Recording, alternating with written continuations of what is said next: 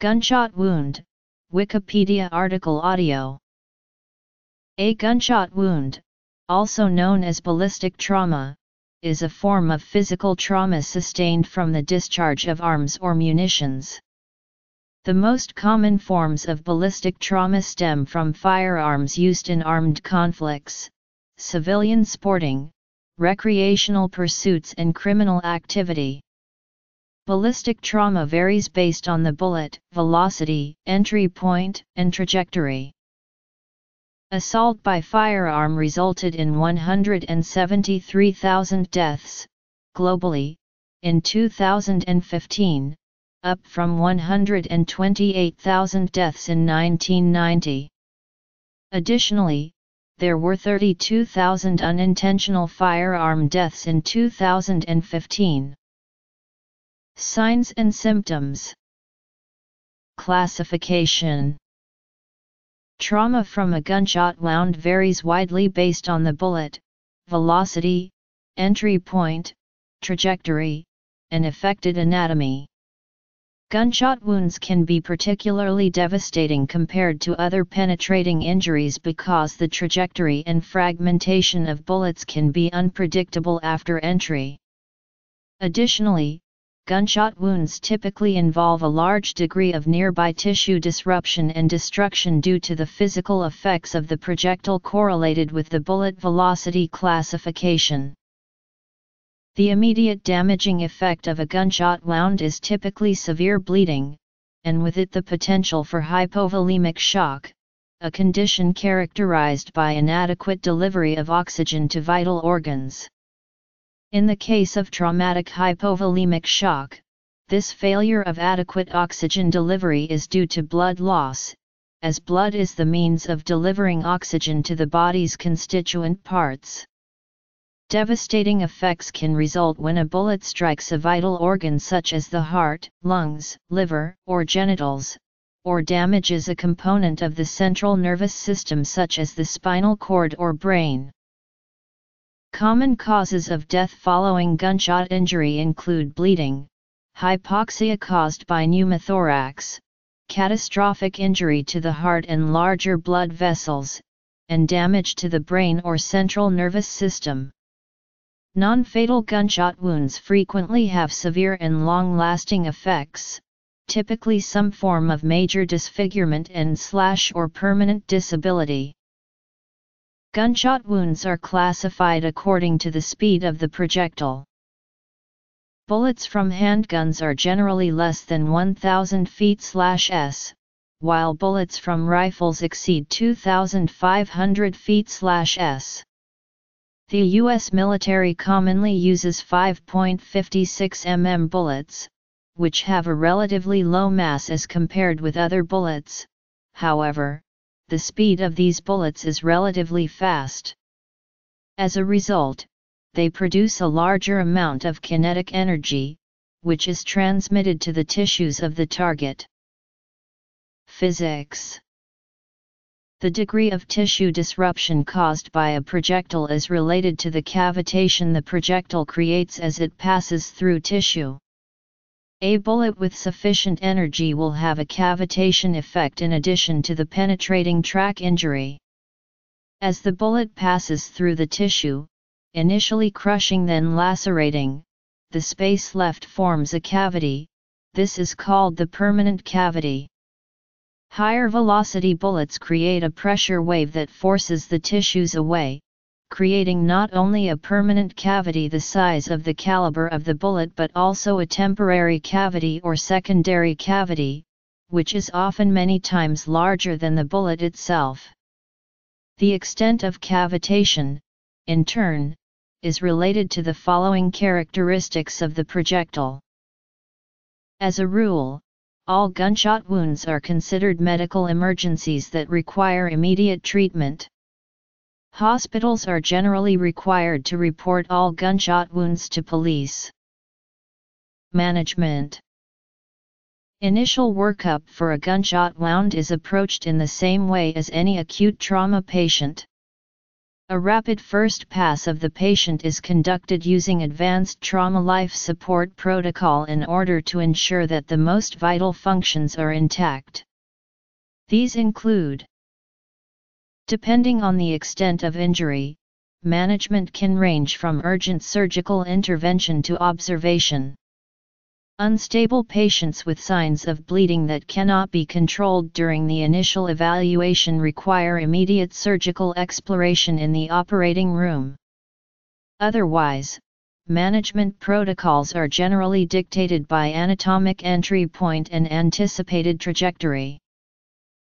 A gunshot wound to the neck can be particularly dangerous because of the high number of vital anatomical structures contained within a small space.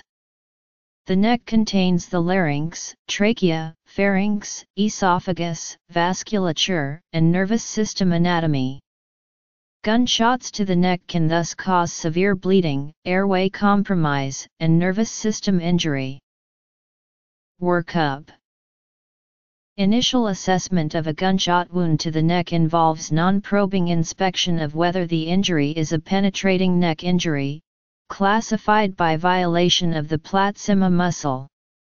If the platysma is intact, the wound is considered superficial and only requires local wound care. If the injury is a PNI, surgery should be consulted immediately while the patient is being managed. Of note, wounds should not be explored in the emergency department given the risk of exacerbating the wound. Neck Due to the advances in diagnostic imaging, management of PNI has been shifting from a zone-based approach, which uses anatomical site of injury to guide decisions, to a no-zone approach which uses a symptom-based algorithm.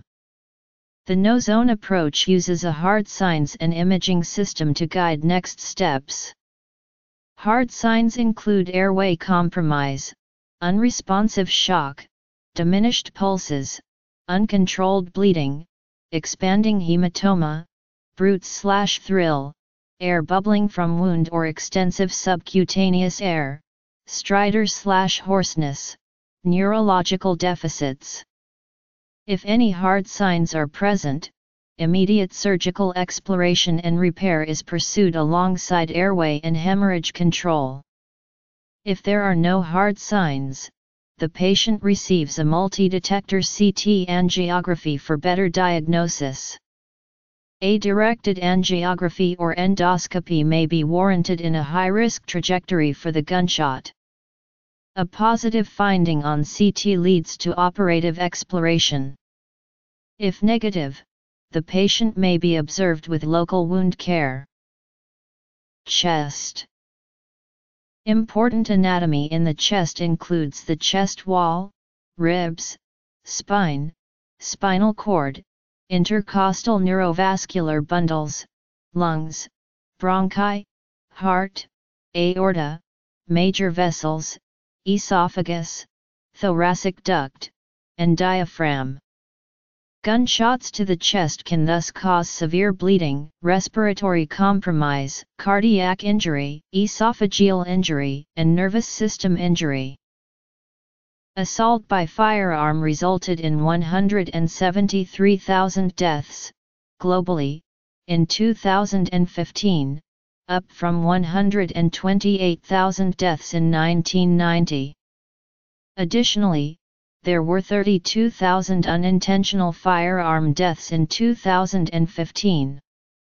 As of 2016, the countries with the highest rates of gun violence per capita were El Salvador, Venezuela, and Guatemala with 40.3, 34.8, and 26.8 violent gun deaths per 100,000 people respectively. The countries with the lowest rates of were Singapore, Japan, and South Korea with 0.03, 0.04, and 0.05 violent gun deaths per 100,000 people respectively. The United States has the 31st highest rate of violent gun deaths in the world with 3.85 deaths per 100,000 people in 2016. Epidemiology In the United States the majority of all homicides and suicides are firearm-related, and the majority of firearm-related deaths are the result of murder and suicide. When sorted by GDP, however, the United States has a much higher violent gun death rate compared to other developed countries, with over 10 times the number of firearms assault deaths than the next four highest GDP countries combined. Hieronymus Brunschwig argued that infection of gunshot wounds was a result of poisoning by gunpowder, which provided the rationale for cauterizing wounds. Ambroise wrote in his 1545 book, The Method of Curing Wounds Caused by Arquebus and Firearms, that wounds should be sealed rather than cauterized. John Hunter argued that infection was not caused by poisoning. Until the 1880s, the standard practice for treating a gunshot wound called for physicians to insert their unsterilized fingers into the wound to probe and locate the path of the bullet. Surgically opening abdominal cavities to repair gunshot wounds, germ theory, and Joseph Lister's technique for antiseptic surgery using diluted carbolic acid, first demonstrated in 1865, had not yet been accepted as standard practice. For example, 16 doctors attended to President James A. Garfield after he was shot, and most probed the wound with their fingers or dirty instruments. Historians agree that massive infection was a significant factor in Garfield's death. At almost the same time, in Tombstone, Arizona Territory, on July 13, 1881, George E. Goodfellow performed the first laparotomy to treat an abdominal gunshot wound. M9 Goodfellow pioneered the use of sterile techniques in treating gunshot wounds, washing the patient's wound and his hands with lye soap or whiskey. He became America's leading authority on gunshot wounds and is credited as the United States' first civilian trauma surgeon. Wilhelm Röntgen's discovery of X-rays in 1895 led to the use of radiographs to locate bullets in wounded soldiers. United States Survival rates for gunshot wounds improved among U.S. military personnel during the Korean and Vietnam Wars, due in part to helicopter evacuation, along with improvements in resuscitation and battlefield medicine. Similar improvements were seen in U.S. trauma practices during the Iraq War. Some military trauma care practices are disseminated by citizen soldiers who return to civilian practice. One such practice is to transfer major trauma patients to an operating theater as soon as possible, to stop internal bleeding. Within the United States, the survival rate for gunshot wounds has increased, leading to apparent declines in the gun death rate in states that have stable rates of gunshot hospitalizations. History Research into gunshot wounds is hampered by lack of funding. Federal funded research into firearm injury, epidemiology, violence, and prevention is minimal. Pressure from the National Rifle Association, the gun lobby, and some gun owners, expressing concerns regarding increased government controls on freedom and guns, is highly effective in preventing related research. Low velocity, 2000 feet s. Kinetic energy, K equals 1 half mv2. This helps to explain why wounds produced by missiles of higher mass and slash or higher velocity produce greater tissue disruption than missiles of lower mass and velocity. The velocity of the bullet is a more important determinant of tissue injury. Although both mass and velocity contribute to the overall energy of the projectile, the energy is proportional to the mass while proportional to the square of its velocity. As a result, for a constant velocity, if the mass is doubled, the energy is doubled, however, if the velocity of the bullet is doubled, the energy increases four times. The U.S. military commonly uses 5.56 mm bullets, which have a relatively low mass as compared with other bullets, however, the speed of these bullets is relatively fast. As a result, they produce a larger amount of kinetic energy, which is transmitted to the tissues of the target. Ya handgun bullets will generally travel in a relatively straight line or make one turn if a bone is hit. Upon travel through deeper tissue, high-energy rounds may become unstable as they decelerate, and may tumble as the energy of the projectile is absorbed, causing stretching and tearing of the surrounding tissue, deformation, fragmentation.